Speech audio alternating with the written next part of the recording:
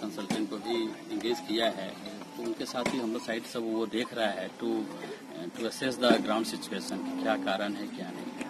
तो no doubt ये हमारे लिए चैलेंज है बट हम लोग उसके लिए we are ready to accept the challenge और फर्दर जो है कि जो इमरजेंट मेंटेनेंस वर्क है we are doing and Harangajao Jatinga to Haranga जाओ सेक्शन मेंटेनेंस भी हम लोग अभी स्टार्ट करने जा रहा है, और the strengthening of the existing road तो होपफुली है कि by next week first week of the December से काम मेरा स्टार्ट हो जाएगा।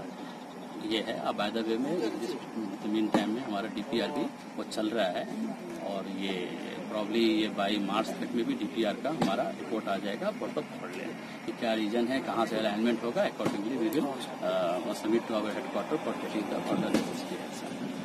Sir sir का जो है ये ये, काफ़ी क्रिटिकल है। हाँ बट इसीलिए तो हमने जो एग्जिस्टिंग जो हाईवे है जो आपका जो साढ़े तीन metre three point seven five metre का जो विड्थ है इसको हमने स्ट्रेंथिंग कर दे रहा है। और जो भी एग्जिस्टिंग जो कलवर्ट है उसको भी हम लोग रिपेयर कर देगा। जहाँ ज़रूरत होगा प्रोटेक्शन वाल डालना होगा वो भी हम लोग वहाँ पर डाल देगा सो डेट की ट्रैफ़िक में कोई डिस्टर्बन नहीं हो। आइंदा उसका पैरेलली मेरा डीपीआर भी चलता रहे सो डेट हम फोर लेन के लिए ये कर सकते क्योंकि आपको तो देखा ही होगा कि 22 पैकेज में, जतिंगा टू माहौट सेक्शन में ऑलरेडी मेरा बहुत सारा रोड भी वो डैमेज हो गया फोल्डन किया हुआ था, पूरा चीज़ वो सेटल हो गया।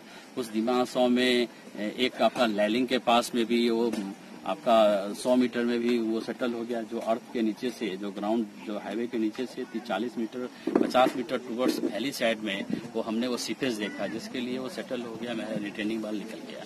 जिसके लिए भी हम लोग देख रहा है कि एक्सपर्ट को देखा है कि भाई क्या इसका सोल्यूशन हो सकता है। तो we are taking care of the each and everything but hardly जो डैमेजेस कहीं पर हुआ इट इज़ हार्डली बहुत ही इंटायर डेढ़ सौ किलोमीटर में, सौ से डेढ़ सौ मीटर में ऐसा कुछ प्रॉब्लम आया है। तो we are taking care of और जितना भी बेस्ट इंजीनियरिंग लगना था हमने वो लगाया है। तो आई डोंट थिंक कि ये सक्सेस नहीं होगा। अभी टॉप डाउन का अब जो देख रहा है, क्योंकि जो जतिंगा टू हरंगा जो सेक्शन के कंप्लीट नहीं होने के चलते में मेरा ये यूजलेस है, कोई अनयूटिलाइज है अभी तक। और आप देख ही रहा है कि यहाँ पर हमने सारा चीज़ बना दिया है। तो बना दिया बट उसको हमने वो कनेक्ट नहीं कर पाया। तो ये हमारे लिए चैलेंज है. वी आर टेकिंग केयर जो भी होगा हम उसको कर रहे हैं. सर जटिंग का तो हरियाणा पोर्शन का टेंडर हो गया हाँ। टेंडर हो गया. मेंटेनेंस के लिए फिफ्टी फोर कौन कौन से कंपनी को दिया अभी अभी फाइनलाइज नहीं हुआ है. अभी हम वन वीक में उसको डिसाइड कर लेगा कि कौन कंपनी आया है. क्योंकि एक बार तो हमारा कोई कंपनी आया नहीं था. तो हमने उसको टेंडर का डेट वो बढ़ा दिया था. जुलाई में हमने टेंडर अपलोड किया था ईपीसी ईपीसी में.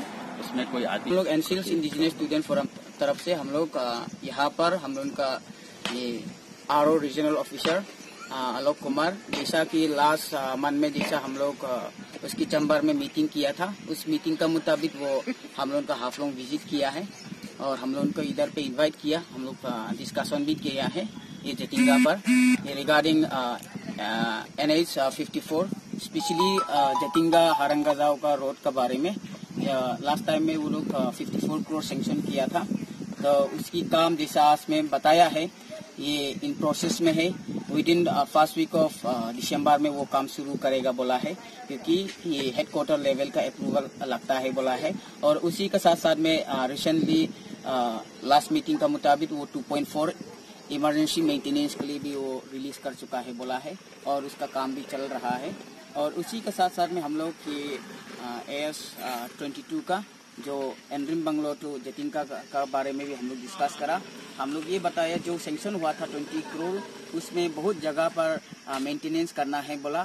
तो वो हम लोग को एश्योरेंस दिया है कि नया प्रपोजल डाल के उसमें वो भी अप्रूवल करेगा बोला है। और उसी के साथ साथ में जो माहौर का जो ब्रिज था existing bridge Mahaur town bridge भी वो एस्टिमेट भी बना चुका है, वो अप्रूवल करे, वो हेडक्वार्टर लेवल दिल्ली भेजेगा बोला है। और इसी के साथ साथ में अप्रोच जो national highway to Mahaur town वाला भी वो अप्रूवल करने के लिए हेडक्वार्टर भेजा बोला है। और हम लोग की बताया है, हम उनका मांग ये बताया है कि within first week of December में वो कुछ नहीं करेगा। तो हम लोग आईएसएफ की तरफ़ से स्टूडेंट की तरफ़ से पब्लिक की तरफ़ से हम लोग एजुकेशन प्रोग्राम भी उठाएगा बोला है। और इस बार भी वो एश्योरेंस दिया है कि वो ज़रूर करेगा। और ये हम लोग का नेशनल हाईवे फोर लेन का बारे में, आज में भी वो हम लोग को दिखाया और बताया भी है कि जापानीज पार्टी भी आया है उनका फोर लेन का डीपीआर नया बनाने के लिए। तो हम लोग नेशनल हाईवे उनका ऊपर में बहुत खुशी जनाता कि फ्यूचर में भी ऐसा काम करती रहेगा। और हम लोग उनको उम्मीद है कि ये हम लोग का फोर लेन भी जल्द से जल्द खत्म होगा। Thank you